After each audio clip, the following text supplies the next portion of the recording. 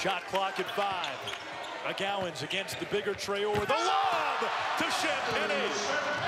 It was a slow first half, but in the second half, Pitt making some plays. The alley.